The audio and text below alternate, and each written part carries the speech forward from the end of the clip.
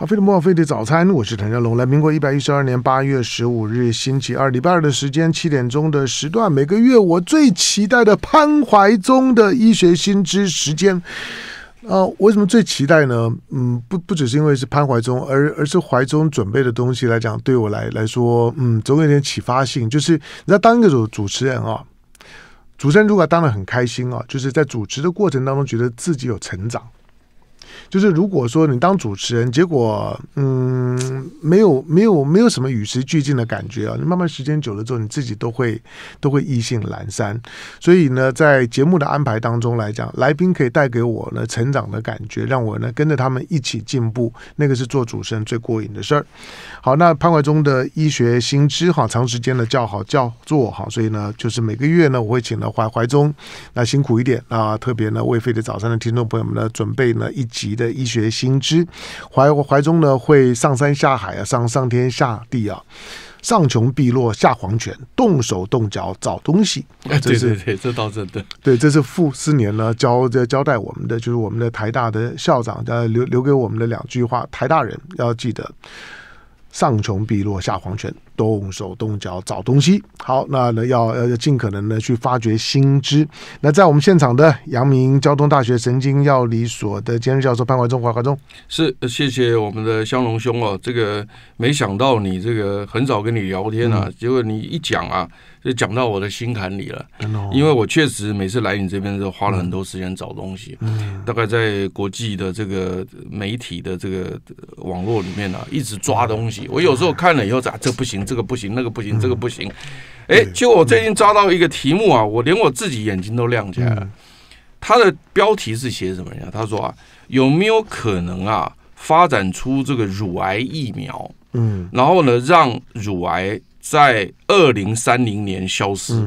哎，我一看到这个题目，我就觉得，哎，这很有趣呢。我还没，我还没，我还没，我还没听你讲具体呢，但是我不相信。好，那你不相信没关系哈。我这个当然就是看到标题吸引我们嘛，哈。标题党，哎，标题党对。但是呢，我肯定也要进去看内容嘛，哈。嗯，我看了觉得还蛮靠谱的啊，真的吗？所以我呢才。想说在你这个地方稍微说一下，那这真的是女女性的福音哦。是是是哈，那他现在是这样哈，就是俄亥俄州，美国俄亥俄州哈，有个克利夫兰诊所。嗯，那你也不要以为他这个写了个诊所，英文叫 clinical，你就以为它很小。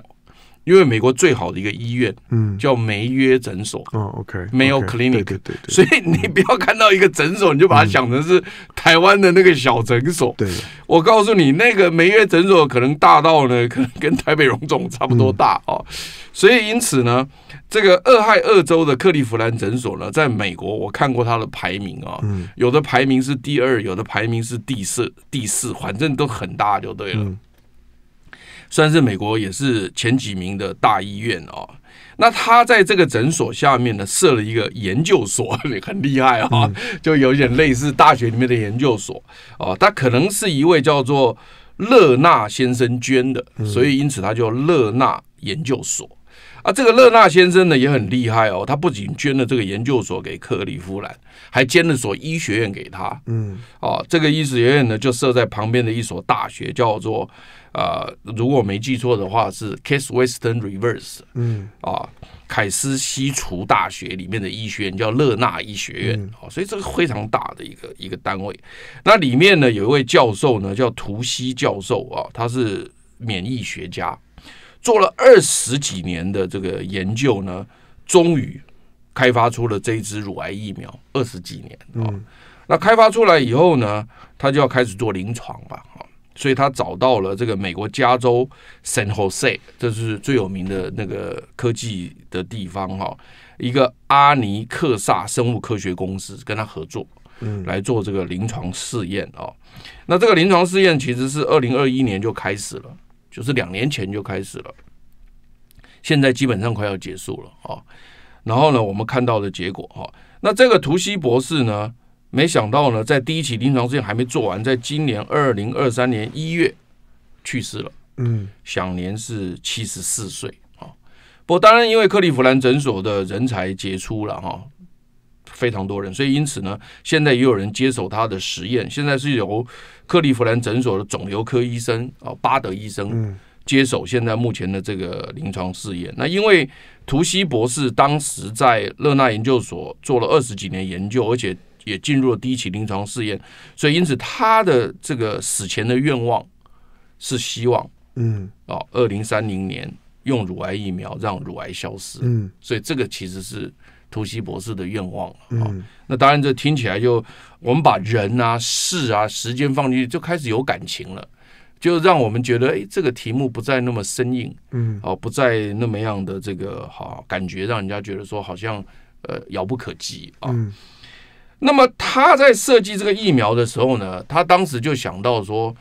我们现在目前用疫苗在抵抗很多的疾病，其实事实上已经是。目前的一个主流了了哦，就像新冠肺炎也是一样嘛哦。但是在人类历史上，其实因为疫苗而消灭的疾病是有的，比如说像什么呢？像天花，嗯，我想你一定记得，当然。啊，天花是因为因为对对，因为因为疫苗的产生而使得天花绝迹，这个病现在目前已经没有了，嗯，好，所以因此呢。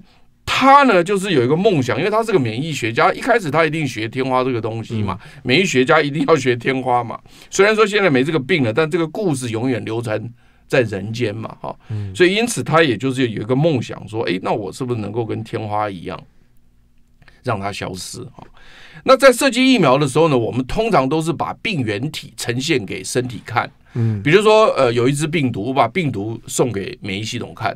如果一个细菌，我把细菌送给免疫系统看，让他看到这个整只细菌。比如说，我随便举例子，不是真的了哈。假设假设假设唐香龙是一个细菌哈，这不好，我是举别人。不会不会，这这个很好。好，那那病毒，你可以说唐香或者病毒啊。那我若把 我若把这整个人整个人给免疫系统看，免疫系统就会认得你嘛。那完了之后，你如果再进来的时候，它就会歼灭你嘛。这就是我们以前疫苗做，就是把整个病原体给你看。可是呢，这个这个癌细胞就很特别，癌细胞是自己的身体细胞叛变来的，嗯，所以它叛变的时候呢，它可能还保留很多原来细胞的特性在里面，嗯，所以因此就简单讲说，呃呃，我举一个比较实在的例子，就是说唐香龙原来是我们飞碟电台的元老，我们看到你就就会不会挡你，就会让你进来，但是现在呢，有一只病毒呢感染到了你。嗯，你如果走进来的时候，我看不到病毒，只看到你，所以我还是会让你进来。所以有点类似说，你已经变成坏人了，可是我还不能够在外表认知你是一个坏人。嗯，呃，我不知道你有没有看过一个电影叫《异形》。嗯，就是那个那个那个虫跑到人的肚子里面去，你外面看到还是很正常的，所以我会让你进太空舱。可是进来不得了了。嗯，他等到异形长大以后跑出来，那就杀死整个太空舱的人。嗯，所以因此呢。呃，癌细胞比较讨厌的是，就是说呢，它的是自己细胞突变而来的，所以因此它在外表上看起来很类似正常的细胞。所以当免疫系统变弱的时候，特别是当人年纪变大的时候，因为我们的免疫系统是因为年纪越大，免疫系统就越差。嗯，这个随着年纪会递减，所以当人的年纪变弱的时候，免疫系统变弱，年纪大的时候呢？就很难去辨别这种小的、微小的这种癌细胞啊，所以因此呢，这个癌细胞被它跑掉以后，它躲在身体的这个，它从这个血液跑到身体的深处去躲起来，生癌子、癌孙的时候呢，它就会长成肿瘤。所以，当我们能够看得到，比如说我们用影像学看到，假设你测到一个肿瘤是零点七公分，假设是这样了哈，那里面其实有多少个癌细胞了？有三点五亿个癌细胞了。嗯，所以因此呢。他在设计的时候，就是图西博士在设计的时候，就在想说，那我能不能在单一的癌细胞就找到它？嗯，所以因此他的想法是这样，就是说，唐香龙，好，我怎么辨别好唐香龙跟坏唐香龙？嗯，他说呢，在耳朵后面有一颗红痣，那个是坏的。嗯，如果耳朵后面没有红痣，那个是好的。所以他变成是要去找说，这个癌细胞跟正常细胞现在到底差别在哪里？那个特征能不能找出来？那图西博士花了二十年的时间，找到了一个很很有趣的特征，就是呢，这个乳癌细胞呢，它会制作一种蛋白质，这个蛋白质叫做阿法乳白蛋白。嗯，那这个阿法乳的蛋乳白白白蛋白呢，很特别，就是说呢，它只有在乳癌细胞里面会有，嗯在所有正常细胞里面都没有。可是呢，有一种情况是呢，这个妈妈如果生了小孩要哺乳的时候，因为在乳汁里面含有大量的阿法乳白蛋白，嗯所以在哺乳的时候会出现。可是很好玩的是，猪不哺乳了以后，它就不会出现。嗯所以因此呢，图西博士说好，那这样没关系，我就怎么样呢？在妇女同胞完成所谓的哺育的这个所谓的功能以后嗯啊，他在设想是这样，完成哺育功能以后，然后呢，大概差不多四十岁或四十一、四十二岁，他就不不再生小孩功能以外，他就可以打这个疫苗。嗯那打这个疫苗以后呢，只要发现能够制造乳白蛋白的细胞，就一律歼灭。嗯原因是什么？因为那个时候他不可能有这种东西了，嗯因为他也不哺育了，只因为他只有在哺育的时候才会有嘛，没有哺育的时候就是没有啊。所以你一旦有的话，那就是什么？唐香龙耳朵后面有个红字，嗯那就是坏人。嗯所以他的简单的设计方法就是说呢，我虽然不能够认识你整个人，因为你整个人看起来跟我很像，我没办法认识，但是我找到一个特点，你这个特点只要被我找到，我就全力打击你。嗯所以因此他的这个疫苗的设计呢，它其实是一个很老式的一个疫苗，叫蛋白质疫苗。也就是说，他把这个阿法乳蛋白蛋白蛋白要让这个免疫细胞认识。可是你要知道说，这个蛋白质，因为它要让免疫细胞认识，有时候你把这个蛋白打上去，免疫细胞不认它，就觉得说这没什么啊，这个蛋白质没什么好认的，所以它旁边再加了个佐剂，叫免疫佐剂。所以因此呢，它是带着这个免疫白蛋白，然后在旁边敲锣打鼓，嗯说：“哎、哎、免疫细胞，麻烦你看一下啊，以后看到这样的东西，麻烦干掉。”嗯所以他就一个人在旁边敲锣打鼓，然后就带着这个阿法乳白蛋白到全身去，告诉你的免疫细胞说：你看到它就干掉它，你看到它就干掉它。嗯所以它的设计呢是这样设计的啊。然后呢，接下去呢，它就进行这个临床试验。那临床试验分成两个阶段啊，也就是一 A stage 跟一 B stage 啊。那它一开始设计的时候呢，他因为呃，因为这个是所谓的 marketing 的这个计划，就是他的这个市场的计划呢，他有一个有一个想法啊。那他现在首先是针对三阴性乳癌。那为什么针对三阴性乳癌呢？原因是因为三阴性乳癌目前复发几率非常高，而且呢药也特别少。因为为什么呢？因为三阴的意思就是说呢，三种药都没有效，就是意思就是说，它又没有雌激素受体的阳性，又没有所谓的呃孕酮的阳性，就是 progesterone，就是那个或者你讲黄体素也也可以了，黄体酮。嗯然后另外它也没有 HER2，就是那个人类表皮细胞生长第二型因子的那个代表，所以这几个药它通通都不能用。所以三阴性乳癌在在乳癌治疗上面算是一个挑战。嗯而且它的复发率也稍微高一点，也就是说，它一般来讲，在全部都治疗好以后，的复发率可能有到四十 percent 左右。那高所以因此呢，其实你乳癌治疗完之后，你最怕的就是什么？最怕的就复发嘛。当然转移啊，复对啊，复复发。那嗯那，但是它什么东西会复发，什么东西不会复发，嗯跟这个呃乳癌细胞的特性有关系。所以如果你是三阴性的乳癌，它这个特性就是容易复发的特性。嗯所以因此呢，克利夫兰研究所的这个图西博士，当时他就说，他的这个蛋白质疫苗，首先先针对三阴性乳癌的病人呢来做所谓的临床一期试验。嗯也就是说，他一开始的时候呢，是集中在这个三阴性乳癌的病人。那这个三阴性乳癌的病人呢，目前呢，他们呃算过，大概差不多有十五 percent 左右，嗯。就是一百个乳癌病人里面呢，大概差不多有十五个 percent，所以也不低。嗯。啊、也不低，因为他现在目前女性癌症里面第一名还是乳癌啊，对。人数很多啊，对，好，因为讲到讲到乳癌，当然就是一个大议题了。讲到乳癌的话呢，当然它就会就会让人家侧耳想要听，因为对女性来讲，子宫颈癌跟乳癌这个是属于女女性性特征的两个主要的癌癌症。那子宫颈癌现在有疫苗，因为子宫颈癌、的真好，对，英文就写这个，嗯。他说女性同胞不用再担心了，子宫颈癌已经有疫苗，乳癌将不落人后，会有疫苗出现。对，谢谢你啊，谢谢。那现在差别在于说，我们对于对这个乳癌的乳癌的，就是说的疫苗的发展的基转。我们需要认认识，同时因为乳癌分成很多不同的类型，对对对，所以呢，它是不是针对呢普遍性的乳癌都都适用？这可能还是一个问号。那因为子宫颈癌疫苗现在已经有有有疫苗，有些地方政府呢都都拨经费呢，就免费的施打，它有非常好的效果。那是因为它基本上是人类乳突病毒感染长时间的病的，这就说呢这个变变异呢所发生的，因为它有个清楚的人类乳突病毒，所以所有的子宫颈癌的疫苗是针对那个人类乳突病毒。那去就去处理的那个呢？那个就是说，它的标标签对标呢就很很清楚。但是乳癌显然要复杂很多。虽然同样是呢是女女性的，就是说性特征的好发的癌症，可是乳癌要复杂很多。好，我们进广告，广告回头回头之后呢，就就请怀中呢跟大家解释一下。当然大家会充满期待了，因为我我我觉得大部分女生呢，到了一定的年纪之后呢，听到乳癌都很害怕。所以呢，对对自己的乳房啦、自我检查啦等等啊，然后去去做这个乳乳房的这些检查，那个其实我我还想，那那那绝对不是一件好玩的事事情，它总是一件苦差苦差事儿。那最尤其当你如果摸到呢自己的乳房上面有不明肿块的时候。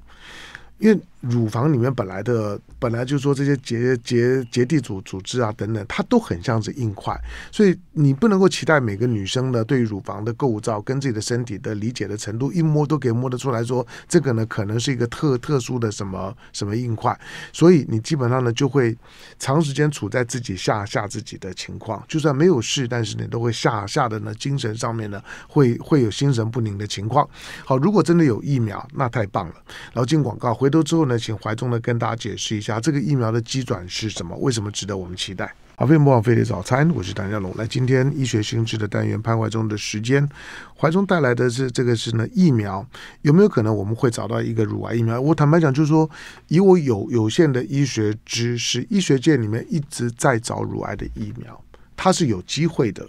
它比它比其他的这这些的癌症可能更有机会呢找到疫苗，大概是仅次于的子宫颈的这个就说呢疫疫苗的。可是乳癌的类型很多，你也不要因此出现一个幻觉，就是以为有一个疫苗呢可以让我呢让让我对对付所有的乳癌，对不对？啊，这不可能。嗯对，因为刚刚我特别提到，就是说这个阿法乳白蛋白，这个是蛋白质疫苗，它是专门歼灭会制造阿法乳白。白蛋白的这个细胞，嗯，那因为他们已经发现，就是说，只要女性过了这个哺育期，嗯，它就不会正常的细胞是不会制造阿法乳白蛋白的，嗯，只有癌细胞会，嗯，那好，那话说回来，就是说，那是不是所有的乳癌细胞都会制造阿法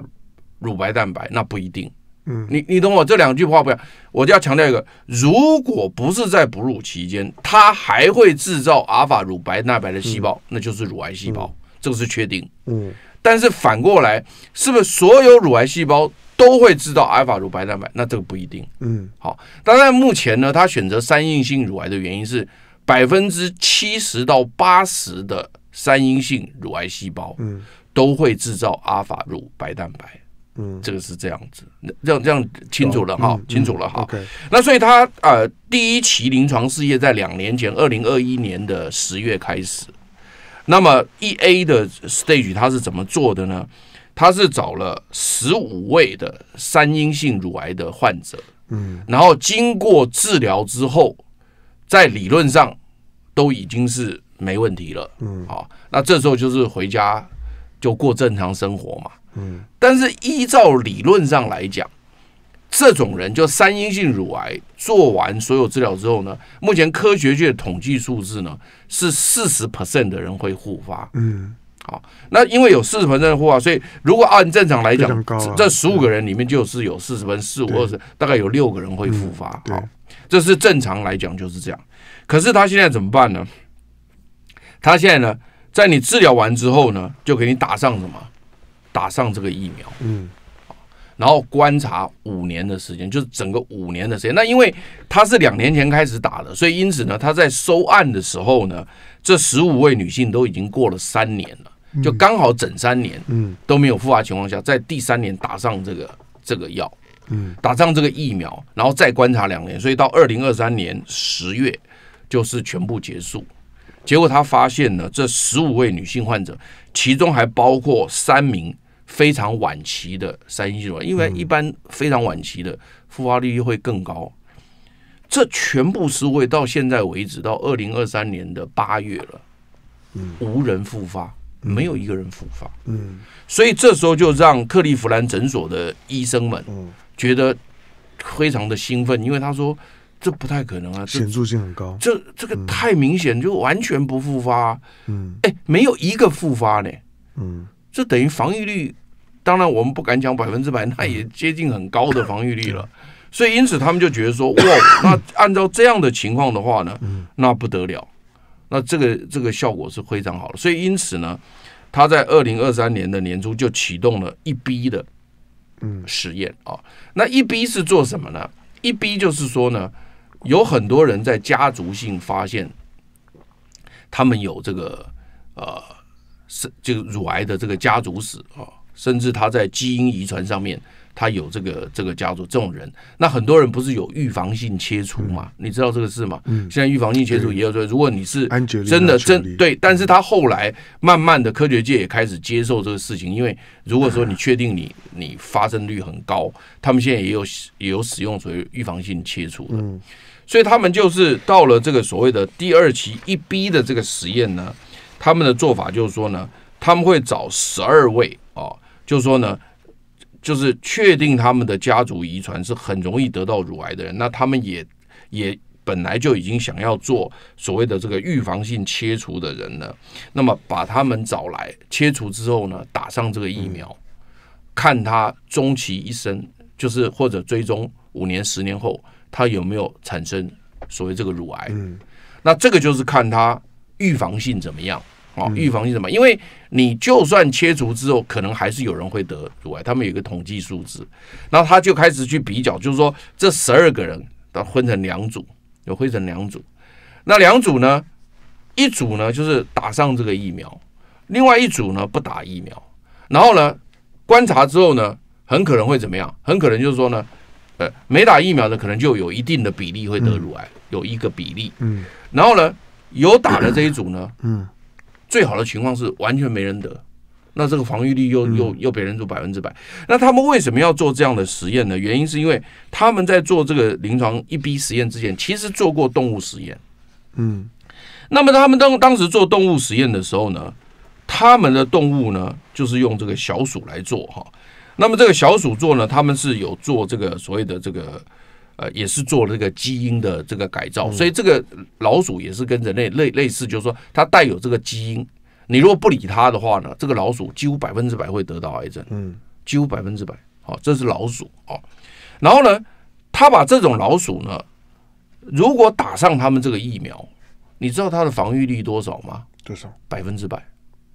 太厉害了。在动物里面哦，那但是因为他们克利夫兰诊所有特别讲说哈，动物跟人类是完全不一样的，你不能说动物里面百分之百，人类就完。他说他不敢这样讲，嗯，但是呢，他说呢不用百分之百，你只要有百分之七十、百分之八十都很漂亮啊，都不得了。对，都很。所以因此他们认为说，因为在动物实验里面，他们看到基因改造的小鼠，如果带有这种乳癌基因的，他不理他，他百分之百得乳癌；打了疫苗之后，百分之百不得。嗯他说，像这种动物的实验，让他们也觉得非常的惊讶。所以因此呢，他们就觉得说呢，现在可以二零，因为刚刚我讲一 B 的实验已经做完，发现十五名都没有复发，所以呢，因此在二零二三年年初的时候呢，他们就开始呢做什么呢？就做这个一 B 的实验。所以假设等一 A 一 B 全部做完，因为目前他们看起来是二零二三年年底一 B 也会做完。好，假设假设全部都做完以后呢，那么那么他们就认为说就会进入二期临床，然后接着三期临床。所以呢，今年是多少？二零二三年。嗯他们认为五年内三就是他们预估三阴性的这个乳癌疫苗就会出来。嗯我觉得合理了哈，差不多了哈，因为他一期做完以后，二期、三期差不多五年没有问题。嗯然后他说呢，所以二零二七年预估呢，三阴性乳癌的疫苗会出来。嗯然后呢，接下去呢，他们在做一些改造，因为经验开始丰富了，所以因此呢，他们会对所有的妇女进行乳癌疫苗的预防。嗯那当然，我我我同意刚刚香龙所讲的，就是说这支药是不是可以预防所有类型，这个我不知道，但是它会扩展到，就是所有的妇女都可以施打到二零三零年，所以它的估计是这样估计来的。嗯那我看了以后呢，诶，我觉得诶，它是有有那么有那么一点样子，嗯。所以我是觉得呢，就就特别提出来跟大家报告说，现在目前针对这个阿法呃白蛋白哦乳白蛋白的这一支蛋白质疫苗，看起来啊前途是蛮光明的啊，我就特别说说这件事情，对，嗯，好，那因为因为乳癌从妇女的妇女的健康教育的角度来讲，大部分妇女知道，就是说，乳癌跟你是否有生育、有哺乳等等，甚至于跟跟种族不同种族的妇女的乳癌的好好发率呢不一样。甚至于也有一种的一种的乳癌的呃乳癌的致癌的原因呢，是跟跟你的跟你的现在的现在后天的生活环环境的周围的这些的化学物质啊等等的，都都可能似乎都有都有诱呃诱发乳癌的乳癌的可能。但如果有一支疫苗呢，真的能够达成，对对妇女来讲呢，那个当然是当然是真是天真的天天大的好好当然当然消息。，就是因为这样才报这个题目嘛，哎好，那但是以以这样子一个逻逻辑，就是说这次疫苗的发展逻逻辑，同样的逻辑可以用来去思考对于其他的癌症的疫苗吗？哎呦，哦哦，我呢，呃，非常非常佩服你啊，你能够讲出这句话啊，不得了的不得了，对，如果或者你不得了的不得了，就如果如果如果他他是从一个从一个蛋白疫疫苗的角度来来看的话，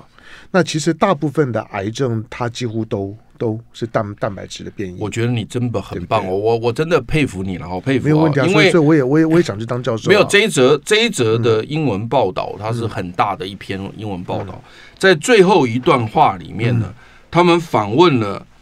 美国加州 San Jose 市的这个阿尼克萨生物科学公司的首席执行官，就 CEO，叫做库马尔博士啊。嗯。那么他告诉记者说呢，同样的疫苗开发策略也可以应用在其他类型的肿瘤。嗯。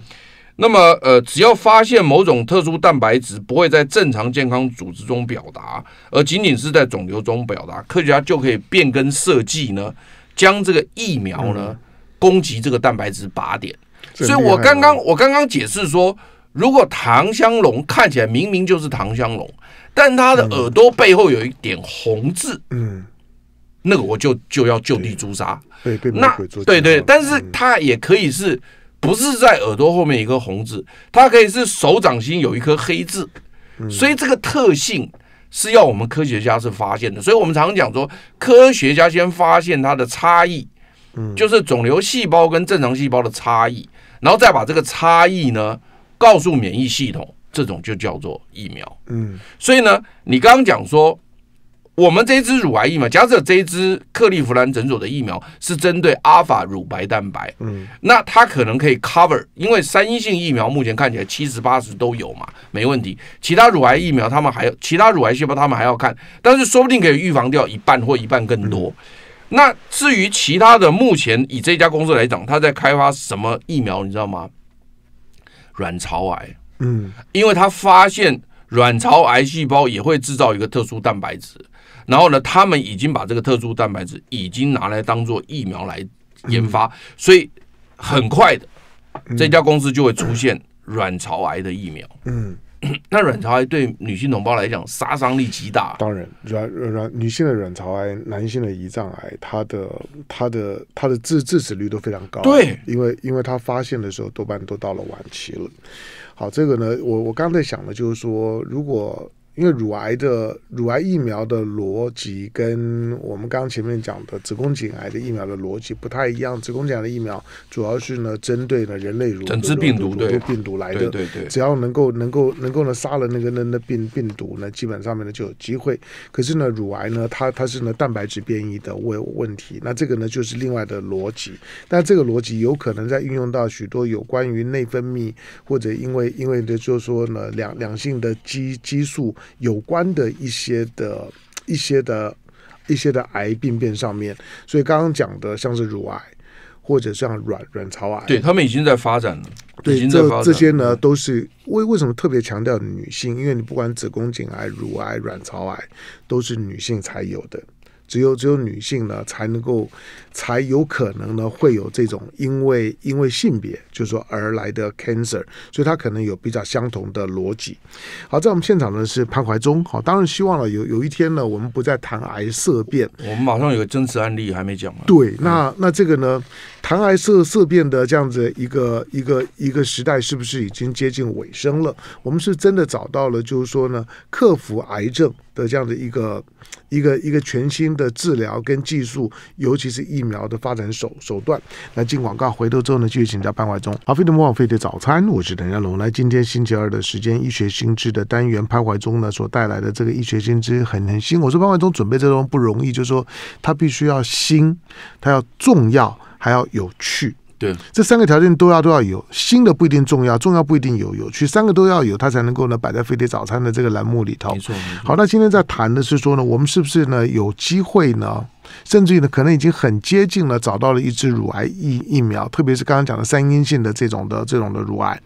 好，那但是呢这样的一个一个乳癌的治疗跟发展的策略，看起来它有机会再扩充到呢其他的其他的这些呢跟蛋白质。呃的变异呢，有关的在癌症上面，所以刚刚提到了，就是你乳癌，你当然想到了另外一个女性好发的，而且致死率很高的，会让女性非常恐慌的呢，那那那就是呢卵巢癌，卵巢癌可能比乳癌更恐怖一一一点哈，因为发现的时候，它在你的腹腔里面比较中空的位位置上面，所以一旦呢发现的时候呢，经常都都都是晚期，就跟就跟呢男性好发的胰脏癌是一样，它藏在你的腹腔的深深处啊，等到你发现的时候呢，通常都已经到了三四期。是好，那但是但是我们我们我们刚刚在在讲的就是说呢，这样子的一个一个主要，它应该有一些的临床上面的一些案例对，我们的真实案例赶快讲，因为时间不够了啊。嗯戴维斯女士啊，Davis，她是一个来自俄亥俄州里斯本市的四十六岁的一位女护士啊，嗯在二零一八年二月首次发现自己发现乳房有肿块。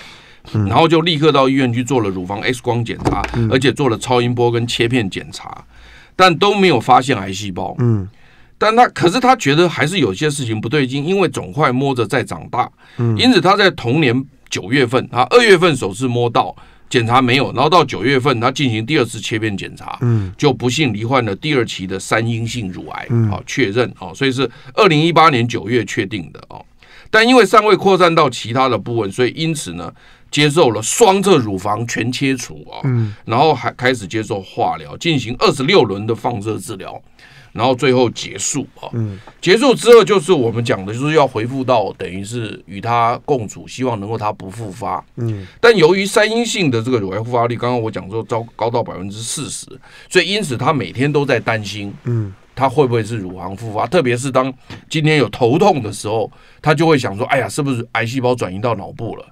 他人就会这样担心，你知道吗？所以因此呢，他就想说：“那好，他到全俄亥俄州最好的诊所克利夫兰诊所去请求协助啊。到了那边去以后呢，没想到那边的人跟他讲说：“哎呀，我们这个图西博士在做乳癌的三阴性的蛋白质疫苗，你要不要参加？”嗯哦，他他他一听这太好了，他第一个报名啊，嗯他说这个我一定要参加。好，他参加了。参加之后呢，他也打了三剂，因为他这个疫苗设计是三剂啊。三剂打完了以后呢跟，子宫颈癌疫苗也是一样。哦好，没关系。那这个我们没办法细说这个疫苗了，好不好？那就先这样子。然后三剂打完以后呢，然后呢，呃呃，他就告诉记者说呢，呃，就像接种流感疫苗一样，注射部位出现一点点肿块，其他没有什么副作用。好，然后呢，他在二零二一年十月打完这三剂以后呢，他说呢，他现在好的不得了，为什么呢？因为他自己觉得他是无敌星星，到底他是不是无敌星星，我不知道。嗯但是他打完之后，他自己觉得是无敌星星，这种心理作用啊，差很多。嗯他现在哈、只要一头痛，他说啊，这个感冒没什么，吃颗止痛药，明天就好。哎，果然明天就好了。所以他现在从来没有在担心他会不会复发，所以他说他整个人轻松很多，日子很好过。他说他每天非常忙碌，除了工作，他的护理工作需要做之外，他还要照顾妈妈，照顾一个儿子，两个女儿，日子过得很快乐。而且到了二零二三年八月，到了今年八月，完全没有复发。他说他觉得他已经好了，嗯哦，因为他已经接近五年了。所以因此在这样的一个情况之下呢，他觉得像这么好的疫苗，应该推广给全部的女性同胞。嗯他他特别讲说啊，所有的女性同胞都应该有权利当然，得到这样的疫苗，嗯。因为她打了以后，她觉得非常非常的好，所以因此呢，这个真实案就告诉大家呢，这个戴维斯女士呢，她现在呢，应该基本上算是康复了，因为我们的定义是五年内对，不复发，那她现在剩下两个月嘛，因为她嗯。十月开始开打的，所以在两个月就结束了。那我估计大概应该是没事了，当然也很快乐。所以大概这个这个这个这个案例就是告诉大家说，哎，现在目前呢，它的反应真的是非常非常的好。嗯那当然，另外也有呃别的别的单位哦，也不是说是克利夫兰诊所而已。美国有一个呃大学叫做华盛顿大学，在圣路易斯，这个学校非常非常的好，你知道吧、w a s h i n g t o n University at St. Louis 在密苏里。那么呢，他们呢也做了一支疫苗呢，是针对什么的疫苗呢？针对 HER2。我刚刚没有空讲，乳癌里面除了三阴性乳癌之外，还有一个叫 HER2 的这个这个这个乳癌，它是呢人类表皮生长因子第二型的受体是阳性的。嗯那它呢这一支 DNA 疫苗，它是个 DNA 疫苗。它不是一个蛋白质疫苗，为什么？蛋白质是已经是做出来的蛋白质，它是这个 DNA 送进去以后，这个 DNA 会做出那个蛋白质。嗯意思就是说，怎么讲呢？就是说我刚刚不是敲锣打鼓带了一个阿法乳蛋白白蛋白让你看吗？说哎、这个遇到它你就打，就说遇到红字就打，遇到手掌黑字就打。它这个不是，它这个是进去之后，细胞会做出那个红字或做出那个黑字给身体看。嗯所以它比较前面，有点类似我们上次的那个新冠肺炎的 messenger RNA，有点类似，但是它是 DNA 疫苗。那他做的这个是 DNA 疫苗，临床一期已经全部结束了啊，全部结束。然后呢，他这个是做了十年，做了十年哦，这一支疫苗已经做了十年。然后呢，做出来的结果呢，啊，也是非常的好。他们现在目前六十六名啊，六十六名啊，有这个 HER2 的这个女性呢参与了这个实验。那目前呢，他们第一期做完以后，追踪十年，发现呢，那效果非常好，而且他们分成三组，也找出最好的剂量，从十微克、一百微克到五百微克，嗯他们决定是一百微克是最好的剂量。所以，像华盛顿大学的这一支 HER2 的疫苗，也临床一期结束，看起来效果也很好。所以，因此你可以看到，就以后可能就是说呢，呃，这个呃克利夫兰诊所的这一支蛋白质疫苗，它可以 cover，比如说五十 percent 的乳癌。嗯然后呢，这个这个华盛顿大学的这一支所谓的这个 DNA 的 HER2 的疫苗，它可能又可以 cover 多少？三十 percent，因为 HER2 大概目前嗯是差不多三十 percent 左右，哇，那就不得了，那你就已经很多了。对，对啊，所以我的意思就是说，它的疫苗的发展，当然我今天没有太花时间去讲 HER2 的这一支华盛顿大学疫苗，原因是因为它是去年年底公布的新闻。嗯，对于黑蝶早餐来讲，我们是要讲今年八月的新闻。都都很新了。对，重点就是说，当我讲大部分的妇女来讲呢，就会回到怀中刚刚讲的一句话，就每一个妇女都值得得到一支好的疫苗。对，那这个疫苗看起来研发，嗯，我收回我一开始的很武断的判断了，我我我认为机会不不大。我听完听完怀中讲完之后，我觉得哎，这个机会看起来是蛮大的。蛮高的。好，但是呢，什么时候呢可以完成呢？说所有的临床，因为疫苗了，疫苗的疫苗的这个就是说呢，要要商业销售的，大家的要求的标准呢要高很多这个。在五年了、对，那那可能还需要一段一段时间。当然大部分人来讲，可能觉得越快越好。好，当然这个如果如果真的有这样子一支疫苗的话呢，它是在人类的抗癌史上面一次呢重大的突破。对于对一款呢，就是说盛行率非常高的，同时有很明显的性别倾向的癌症，能够呢产生呢预防的效果。要有预防效果才叫疫苗，那个是一个医学上面划时代的进步，这个是可以得诺贝尔奖的。疫苗，好，感谢呢，今天呢到我们现场为为大家带来呢医学新知的潘怀忠，好，谢谢。好，希望能够很快的呢看到一支呢成熟的疫苗。来进广告，回到新闻。